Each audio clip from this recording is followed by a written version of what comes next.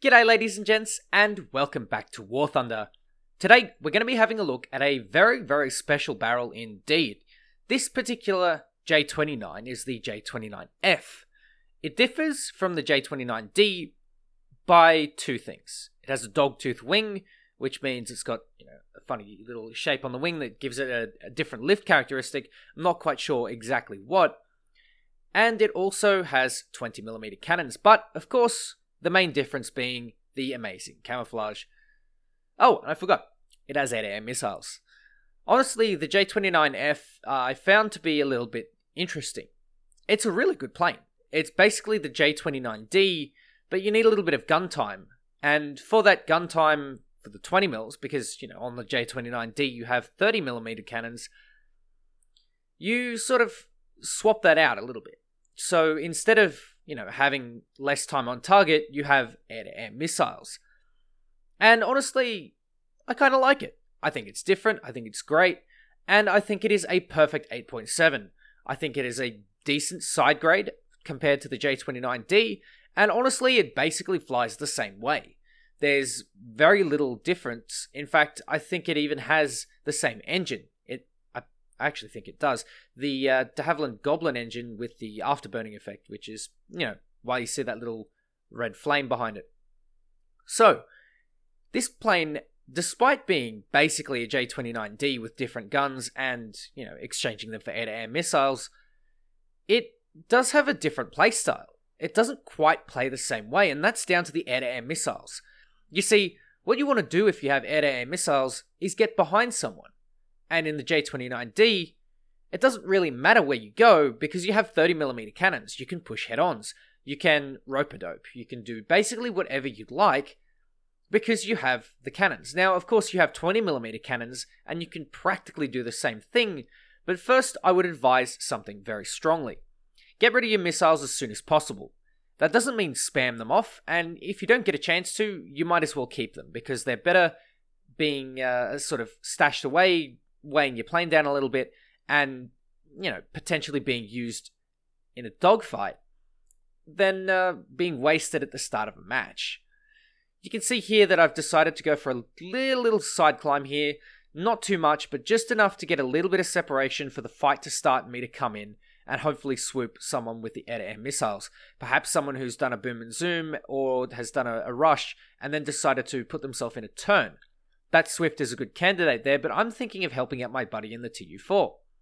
This uh, TU4 is probably going to go down, but you know what? He's baiting up a Canberra, he's baiting up two MiGs, and this MiG here is going to be a non threat to me, simply because he doesn't have the energy to keep up with my turn in the vertical. Now, I've made something like three videos on the J29D, and it basically flies the same way. Except, of course, considering the air-to-air missiles. I can see a MiG-15 here. German MiG-15 is going to get absolutely slapped by these missiles. 10G overload, and they do work fairly well within a single kilometer. I would probably recommend using them at roughly one kilometer, but if you have a little bit more, maybe 1.5, 1.6, maybe then you could also use them. I wouldn't, I probably wouldn't use them below 800 meters simply because of the uh, time that it takes to to get the missile to speed. It's burning at at that sort of distance. It does have a fairly you know decent burn time. I mean, yeah, compared to other missiles, sure it doesn't, but for this tier, for the closure rates, it certainly does.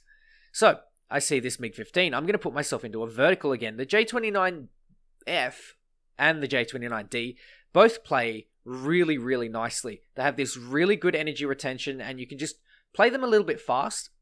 So, for those of you who play the MiG 15 and know the MiG 15 well, I would probably consider it a mix between a MiG 15 and perhaps a Hunter, perhaps something that has decent energy retention. You can see there a little bit of spray, and that's the uh, the 20 mils. I'm still running the default belts, but honestly, if you have a decent amount of gun time, you're going to have a good time in these.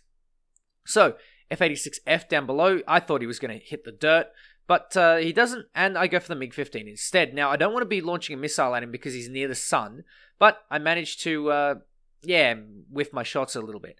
Not great, but I switched the afterburner off, and this is something that you should be doing in this plane. If you need to get behind someone, obviously, if you in, if you are not confident that your teammates are going to, you know, come and take anything that's going to come onto your 6, then obviously don't reduce your throttle. Speed is king in jets. And you can see this Swift is exactly doing that. He's putting his speed to use. The Swift F1 in this case is able to get away from me only just. I think he's faster than me by a couple of kilometers per hour. And I'm also not quite spaded. So I think I only top out at 1030, whereas I think he tops out at 1050. I'm not quite sure. But there goes my last air to air missile, and I'm going to sort of follow him. Except I'm going to do what I do best and put myself into a little climb. You see, if someone is running away from you, the best thing, in my opinion, to do if they're getting some distance is turn your, your speed into altitude because that way you're saving up potential energy for a dogfight later. So I can see that one of my teammates is going on towards him, so I think, you know what, that's fine. I'm to let him have the kill because I'm pretty sure, pretty confident that you can get behind and stick behind the Swift F1. It doesn't have the acceleration of the Swift F7, and so you can't really do all these prolonged dogfights with it. It only has one thing, and that is to run. And if you if you're running that thing forever, you know, someone is going to collect you at the end of the day. So, I'm noticing that my teammates still have a couple of G91s to deal with, so I'm going to go and help them out instead. I feel like I'm much more useful over this way than, you know, chasing a single Swift F1. I can also see that I need to make my my kills count. I need to start getting kills, and the uh, the G91 there to the right in uh, in chat seems like he's having a bad time. So you know what? I'm going to be a nice guy. Uh, he's already got a MiG on his uh, six, so I'm going to go for the other G91, which actually turned out to be an extremely wise decision. This particular G91 is on its own, and you know a one v one is is okay for me, especially in the G91 and the J29F. You see, they're quite well balanced against each other. The G20, the the G 91, well, getting them confused now, has the guns, it has the low speed acceleration, and it has the turn rate. Whereas the J29 has a little bit of everything, but more towards that speed and that energy type of maneuver. And as long as I can keep my energy above the G91, he's pretty much gone. And the Swift goes for a little he- head on. Um, yeah, nah, I ain't having any of that. I don't care if it's 230 mils or 430 mils, they are ADEN cannons. I don't want to borrow that shit you can go and, uh, yeah, have a nice day. So, speaking of having a nice day, this uh, G91 decides to come back towards me and doesn't have a nice day because he's lost his tail control. G91 again, Mr. Mr. BF109. Actually, you know what? I kind of like that name. It's kind of it's kind of weird, but it's kind of cool at the same time. Little bit wearaboo, but you know what? I'll I'll take it. I think it's a I think it's a cool name. What isn't cool though? I don't know. I shouldn't be complaining but he's putting himself into some really aggressive defensive maneuvers, and I'm, I'm going to try and follow. But here's where the J29 has a little bit of a weakness. Its rudder is really, really crap. And its guns are very, very far under the fuselage. So the distance between the wings and the guns is a lot higher than, say, a Hunter, if you're talking just straight out vertical distance. Whereas on a, on a plane like the MiG, say the MiG or the G91 even, the guns are actually close to the wing. And for some reason, it makes aiming at close distances really, really finicky.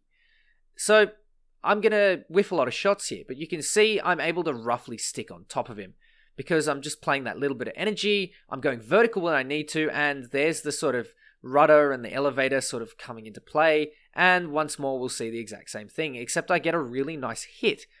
Again, I think that's the default bot belts, but um, yep, have a look at that. The Swift is coming back, and I sort of need to get out of the way of it. I'm not really paying attention. I'm thinking, oh, I've still got time. I've still got time. But the Swift is extremely fast. He's going to close in really quick, and you can see there, I panic a little bit, and I'm going to put the nose down. It's simple, and I'm going to turn in towards him, and then away, and then away a little bit more, and then continue straight. He oofs it into the ground, which I'd kind of like that to be my kill, but you know what? I'll, I'll take it. I'll take that as kill number five. so, G91R3 is now sort of running towards me. The G91R3 has really good acceleration all the way to 600 kilometers per hour. Have a look at my speed and have a look at when I start to lose the G91. It's exactly after I pass 600 kilometers per hour. I feel like the G91 and the MiG 15 both have this sort of feature, whereas the J29 seems to be able to keep a decent acceleration almost all the way to 900 kilometers per hour, where it then shoots off a little bit more, kind of like the Hunter F1, and I guess the Hunter F6. And uh, there was another plane that I completely forgot about that sort of has that same feature. So, what I'm going to do now is that I've built up a little bit of distance and a little bit of energy, is I'm going to take him into a vertical and try and rope a dope him. The G91R3 has really good acceleration because it has a light airframe and a very powerful engine. But because of the light airframe, it doesn't retain energy nearly as well. So, I'm going to dive onto him again. You can see he's put himself up into a vertical and he's now panicking. This is a situation where I've got him as long as I can get the guns on target. And you can see I'm not really having that success.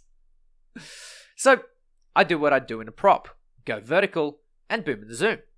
It sort of works in both ways, and I really like having to uh, employ this situation in this sort of tactic. The G91 again goes for a little bit of a vertical and realizes that he ain't got any more energy left, so he's going to level out and I'm going to finish him with the 20s. The J29F is probably one of the more interesting Swedish fighters in the entire game. I mean, they're all really interesting, to be honest. And frankly, I've had an absolute blast playing every single Swedish plane in the entire tree. perhaps, maybe with the exception of one of the J21s. Maybe that's because it was my first one and I'm just trying to get used to it. But honestly, these planes are fantastic. All the Swedish tree has been absolutely perfect the planes and I guess the the pre- the premium planes have been decent. They've been very good, and they've also been you know not not pay to win. I mean, the Pyorremyrsky is probably a little bit on the pay to win side, but a small battle rating change won't really hurt that. On top of that, the J29D, I think, whilst I prefer it over the J29F, is certainly neither better nor worse. And honestly, that's the perfect situation. That's exactly what you want to have. And I predicted this the, on the dev server as well. I thought, yep, we're going to have a side grade and it's going to be great. And lo and behold, it's perfect. I think it is really, really fine. The 20 mils are a lot more forgiving as well. So if you're a newer player, then maybe the J29F is going to be a lot more fun than the J29D for you if you've uh, purchased that plane. But honestly, at the same time, I, I just enjoy it. I've had an absolute blast. Normally, this sort of patch is is extremely challenging and extremely stressful. Uh, well, not stressful, but a really steep learning curve. And honestly, I feel like I've gro- like greased in just beautifully into the Swedish tree, and that's partially because of the planes themselves. They just work well with maybe my playstyle, maybe just the way that I enjoy the game, I suppose they're also really good with friends, and that's one thing that I've been doing a lot more of. I would highly recommend that you play with friends because this particular tech tree is just really well suited to that sort of wolf pack type gameplay. And it's really rewarding. Even if you don't get one or if if you don't get more than one or two two games that are high kill, often I get, you know, two or three kills a game, maybe one, maybe an assist every now and then. But honestly, it doesn't really matter because you have that battle activity. You have the hits, the crits, the assists. You have a decent amount of fun. And honestly, that to me is some of the most important stuff when you play any online video game. And the Swedish tree embodies that perfectly, especially the J29s being both interesting, unique, challenging, and yet not entirely broken. Things that have come to the game in the past year have indeed been broken, pay to win, perhaps power creepy. The MiG 21 SMT is a good example of that, in fact. But the Swedish tree is perfect. It is extremely well balanced, in my opinion, and there isn't a single plane that I would. I mean, there are some planes that I would modify their battle rating or their air spawn or win it whatnot, but honestly, for the most part, it's been really fun and really balanced. And that's something I've got to give credit to Gaijin for. So, ladies and gentlemen, that was a nice little ace in the J29F, a plane that I've been getting used to and falling in love with.